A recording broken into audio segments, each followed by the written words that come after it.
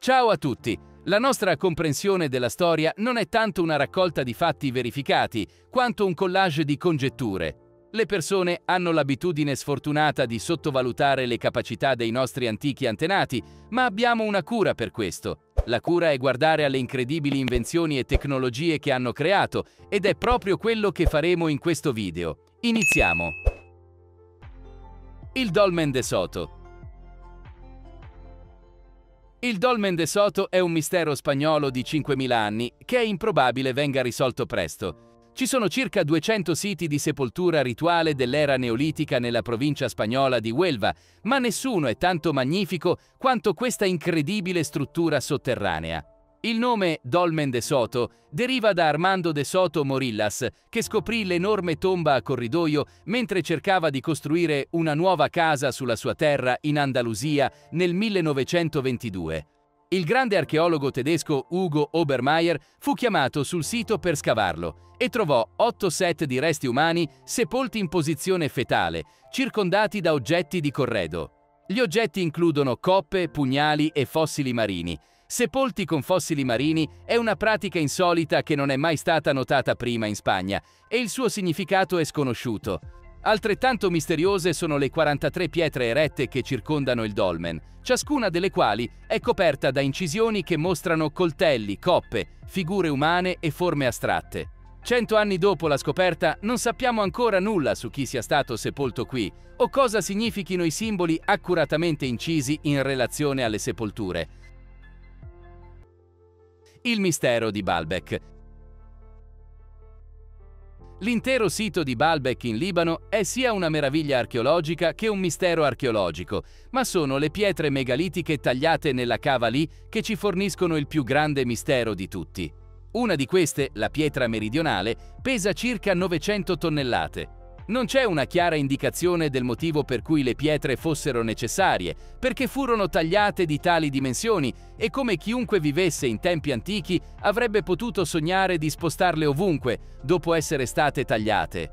La pietra occidentale è ancora più grande, pesando circa 1100 tonnellate, una teoria dice che dovessero diventare parte del Triliton di Baalbek, ma poiché il sito del Triliton è in salita rispetto alla cava, sarebbe stata necessaria una quantità di forza inconcepibile per trascinarle o spingerle su per la collina.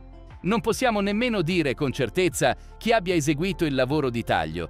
Generalmente si attribuisce agli antichi romani, ma non abbiamo visto alcuna prova che tentassero di estrarre megaliti così enormi altrove nel loro vecchio impero. Questo sarebbe considerato un progetto di costruzione troppo difficile da tentare oggi, figuriamoci migliaia di anni fa. Intagli in bosso dei Paesi Bassi. L'iconografia religiosa è di solito un lavoro d'amore per chi la crea, ma anche tenendo conto di ciò, questi miniaturistici intagli in bosso sono incredibilmente sofisticati. Solo 135 delle sculture, a volte chiamate anche noci di preghiera, sono mai state trovate, tutte realizzate tra il 1500 e il 1530 nei Paesi Bassi. Ciò suggerisce che potrebbero essere state tutte opera di una sola persona. I minuscoli altari sono tenuti insieme da giunture così piccole che i collegamenti sono completamente nascosti. Siamo stati in grado di determinare come sono stati assemblati solo utilizzando raggi X e microscopi, ma il fatto che abbiamo bisogno di una tecnologia così avanzata per capire come siano stati realizzati solleva la questione di come qualcuno abbia potuto metterli insieme senza l'uso di tale tecnologia in primo luogo. I perni che tengono tutto in posizione sono più piccoli di un seme di erba, L'occhio umano non è nemmeno in grado di vederli, quindi come hanno potuto le mani umane posizionarli con tale precisione? Qualcuno nei Paesi Bassi sta nascondendo un'antica macchina a raggi X? L'unica altra spiegazione è che la persona che li ha realizzati fosse così incredibilmente miope da essere quasi cieca a qualsiasi cosa più distante di 30 o 60 centimetri dal suo viso. Sepolture della necropoli paleocristiana di Autun, c'è una necropoli paleocristiana ad Autun in Francia che sta rivelando beni affascinanti da diversi mesi ormai. Nel luglio 2022 ha rivelato i suoi ultimi tesori quando frammenti di tessuto viola e oro risalenti al IV secolo sono stati trovati all'interno della necropoli. L'oro nel tessuto è letteralmente filo d'oro. Gli esperti hanno trascorso le ultime settimane a pulire i tessuti e ora hanno appreso nuovi dettagli sulla trama e sul materiale di cui sono fatti. I tessuti provenivano dalla tomba 47 all'interno dell'enorme necropoli ed erano scoperte sorprendenti, trovate all'interno di grandi zolle di terra. Il processo di pulizia ha rivelato motivi floreali e a spina di pesce nel tessuto, mostrando un livello sorprendente di complessità per l'epoca. Piuttosto che essere indumenti indossati dalle persone sepolte nella necropoli mentre erano vive, gli esperti pensano che sia probabile che siano stati fatti appositamente per la sepoltura. Questo solleva la domanda del perché i defunti non fossero vestiti con essi quando furono sepolti, una domanda a cui nessuno è ancora riuscito a dare una buona risposta. Realizzare i capi richiedeva un alto livello di maestria tecnica, quindi sembra strano che qualcuno abbia scelto di lasciarli a terra. Il meccanismo di Anticitera. Ci sono molte cose che possiamo dire sul meccanismo di Anticitera. Possiamo dirvi che è greco, è stato trovato in mezzo a un relitto e ha circa 2000 anni. Quello che non possiamo dirvi è come funzionasse o a cosa servisse, e neanche qualsiasi esperto che abbia mai avuto la possibilità di esaminarlo può farlo. Esitiamo a descrivere il dispositivo come alimentato da un meccanismo a orologeria, perché un tale concetto dovrebbe essere stato impossibile da comprendere per le persone dell'epoca, ma aveva un sistema meccanico simile a un orologio che gli permetteva di tracciare la posizione dei pianeti e delle stelle nel cielo notturno. Il fatto che sia stato trovato su una nave potrebbe suggerire che avesse un uso nautico, ma se fosse così ci aspetteremmo di trovare dispositivi simili su molti altri relitti greci di quest'epoca. Non ne abbiamo mai trovati, quindi potrebbe essere che fosse un'invenzione completamente nuova quando la nave affondò e, poiché il suo proprietario probabilmente andò a fondo con essa, nulla di simile fu creato di nuovo per quasi mille anni. Testa Tekaxic Calix Tlawaka ci sono alcuni che credono che i Romani abbiano visitato le Americhe in tempi antichi. A sostegno di questa teoria presentiamo la testa Tecaxic Calix Tlahuaca. La scultura della testa fu sepolta in Messico intorno all'anno 1470, probabilmente poco prima che Colombo arrivasse nelle Americhe, come parte di una tomba. Tutti gli altri oggetti trovati all'interno della tomba erano tipici per l'epoca e il tipo di sepoltura, ma questa testa no. Infatti l'unica cosa a cui questa testa potrebbe essere paragonata è il tipo di stile scultoreo che una volta era popolare nell'antica Roma. Anche il volto sulla scultura sembra essere più europeo nello stile che nativo americano. La testa fu trovata dall'archeologo José García Payón nel 1933 sotto una piramide, ma lo scioccò così tanto che non la rivelò al mondo intero fino al 1960. Nel 2001 Romeo Christoph dell'Università del Nuovo Messico confermò che la testa è sicuramente romana e probabilmente fu realizzata durante il secondo secolo. Questo solleva la domanda su come sia arrivata in Messico in tempi precolombiani. I vichinghi l'hanno portata qui quando hanno visitato le Americhe o i romani sono stati qui una volta. Antico sismografo Sarebbe molto utile sapere quando stanno per arrivare i terremoti. Le aree potrebbero essere evacuate prima che si verifichi un disastro e innumerevoli vite potrebbero essere salvate. Fatichiamo a prevedere i terremoti qui nel XXI secolo, anche con tutta la meravigliosa tecnologia a nostra disposizione, eppure gli antichi cinesi cercavano di fare tali previsioni durante il secondo secolo. Usavano dispositivi come questo sismografo realizzato da Zhang Heng nell'anno 132. Sebbene possa sembrare un vaso elaboratamente decorato, il dispositivo di Zhang Heng è incredibilmente sensibile e sofisticato. Quando viene posto a terra, può rilevare scosse che si verificano a chilometri di distanza, che fanno oscillare un pendolo all'interno dell'artefatto. Se l'oscillazione supera un certo livello di sicurezza, disloca una delle sfere all'interno delle bocche dei draghi attaccati ai lati del sismografo, facendo cadere la sfera nella bocca di una rana. Questo non solo avvisa gli osservatori che sta arrivando un terremoto, ma dà anche un'idea della direzione da cui proviene. Probabilmente non era molto preciso in termini di previsione delle direzioni e non avrebbe dato molto preavviso, ma era certamente meglio di non avere alcun avviso.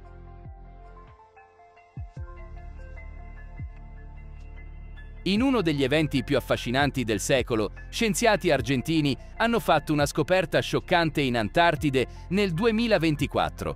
Una nave da guerra, scomparsa da oltre 100 anni, è emersa dalle profondità ghiacciate, rivelando ciò che molti chiamano già l'enigma della neve nera. La nave, che si credeva persa dal 1923, è stata scoperta dopo uno scioglimento inusuale dei ghiacciai ma la vera sorpresa è arrivata quando i ricercatori sono entrati nella nave. All'interno hanno trovato i corpi congelati di tutto l'equipaggio, ancora seduti alle loro postazioni, come se il tempo si fosse semplicemente fermato. L'aspetto dei cadaveri, con volti deformati ed espressioni di terrore, rende chiaro che qualcosa di inspiegabile è accaduto prima del naufragio. Gli scienziati credono che la nave stesse partecipando a una missione segreta di esplorazione nel periodo successivo alla Prima Guerra Mondiale. Tuttavia, documenti recentemente scoperti suggeriscono che l'equipaggio fosse coinvolto in un'operazione sperimentale legata a un fenomeno atmosferico misterioso, conosciuto da loro come l'ombra dell'Artico, un termine enigmatico che appare ripetutamente nei registri di bordo. Oltre ai corpi,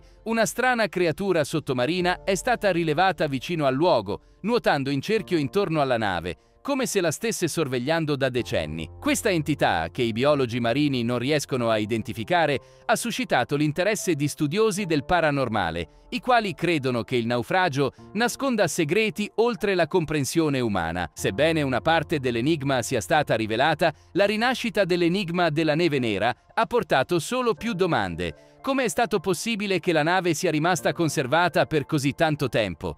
E cosa è realmente accaduto all'equipaggio in quelle acque gelide e desolate? Il mistero riemerge, ora illuminato dai riflettori del mondo intero, ma le sue risposte sembrano più gelide e oscure che mai. La batteria di Baghdad a questo punto, mentre stiamo lentamente accettando che i nostri antichi antenati avessero una comprensione della tecnologia migliore di quanto generalmente gli riconosciamo, diventa possibile credere che potessero anche aver compreso i principi di base dell'elettricità? Questa domanda deve essere posta a causa dell'esistenza della batteria di Baghdad, che fu trovata in Iraq nel 1838. Sebbene gli storici tendano a respingere l'idea che sia una batteria, è quasi impossibile comprendere l'artefatto in altro modo. È un vaso di argilla che ospita una barra di ferro, attorno alla quale c'è un avvolgimento di rame. Non avrebbe molto senso crearla come ornamento se non potesse essere vista a meno che il vaso non fosse aperto, e sarebbe comunque un ornamento dall'aspetto strano. La batteria di Baghdad è stata testata in condizioni di laboratorio e si è dimostrata capace di mantenere una carica. Questo pone un enorme problema storico perché l'artefatto ha più di 2000 anni. Queste antiche persone stavano sperimentando con l'elettricità e se sì, perché non hanno portato l'idea oltre? Antico contachilometri il contachilometri nella tua auto tiene traccia di quanta distanza copri quando guidi.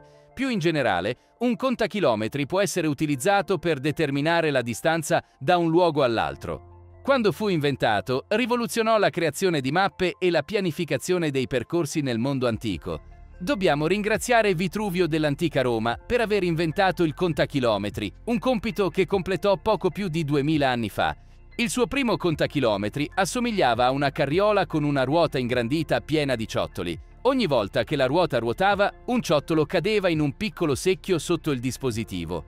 Poiché Vitruvio misurò il diametro preciso della ruota prima di montarla sul dispositivo, sapeva esattamente quanta distanza era coperta da ogni rotazione. Poteva quindi determinare la distanza tra due punti contando il numero di ciottoli che il contachilometri depositava nel secchio. Dopo aver concepito questa geniale invenzione, la pianificazione dei viaggi nell'impero romano non comportava più tante congetture e le mappe divennero molto più accurate. I contachilometri di oggi potrebbero non usare più i ciottoli, ma funzionano ancora sullo stesso principio vecchio di 2000 anni. Il carro armato di Leonardo da Vinci il maestro del Rinascimento italiano, Leonardo da Vinci, ha una forte pretesa di avere la mente più grande nella storia dell'umanità. Il polimata era anni luce avanti rispetto al suo tempo nell'arte, nella scienza, nella biologia e nella scultura e sembra che potesse prevedere anche il futuro del combattimento militare. Molto prima che un carro armato attraversasse i campi d'Europa o qualsiasi altra parte del mondo, Da Vinci aveva concepito un'idea di base di come potessero essere. Non costruì mai un prototipo basato sul suo design, ma i principi fondamentali sono validi. Il carro armato di Da Vinci aveva spazio per archibugi rivolti verso l'esterno e una sezione superiore removibile che poteva essere aperta per aiutare la visione del conducente. Le ruote erano probabilmente troppo sottili per essere utili in un campo fangoso e il design a manovella dell'asse sembra difettoso, ma non dovremmo prenderglielo troppo contro. Un carro armato di legno probabilmente non sarebbe durato a lungo sul campo di battaglia, ma questo design è una base per il futuro. Infatti, un gruppo di ingegneri è riuscito a costruire con successo un modello funzionante del carro armato basato sui progetti di Da Vinci nel 2010. Pratiche di sepoltura di 5500 anni fa. Deporre i morti con dignità è stato un passo importante nello sviluppo dei nostri antichi antenati. Le pratiche e i rituali di sepoltura variano notevolmente da luogo a luogo e da epoca a epoca, ma gli archeologi sono sorpresi dalla sofisticazione di questo sito di sepoltura appena scoperto nel sud-est della Polonia. È una grande fila di tumuli megalitici che un tempo contenevano 12 tombe lunghe, 45 metri foderate di pietra. Le pareti erano sostenute da palizzate di legno, una delle quali è sopravvissuta fino ai giorni nostri, con un ingresso a un'estremità e un atrio al centro. Questo sarebbe stato un luogo piuttosto elaborato per seppellire i morti e anche per i parenti, per venire a visitarli, considerando che fu costruito circa 5500 anni fa, è incredibilmente avanzato per il suo tempo. Tuttavia, potrebbe non essere stato il luogo di riposo finale delle persone sepolte al suo interno. Prove archeologiche sul sito suggeriscono che i corpi venissero periodicamente rimossi per essere sostituiti da nuovi, quindi potrebbe essere che le persone fossero collocate qui per un breve periodo di lutto prima di essere sepolte definitivamente altrove. Per oggi è tutto. Qual è stato il vostro momento preferito? Commentate, mettete mi piace, condividete e iscrivetevi. A presto!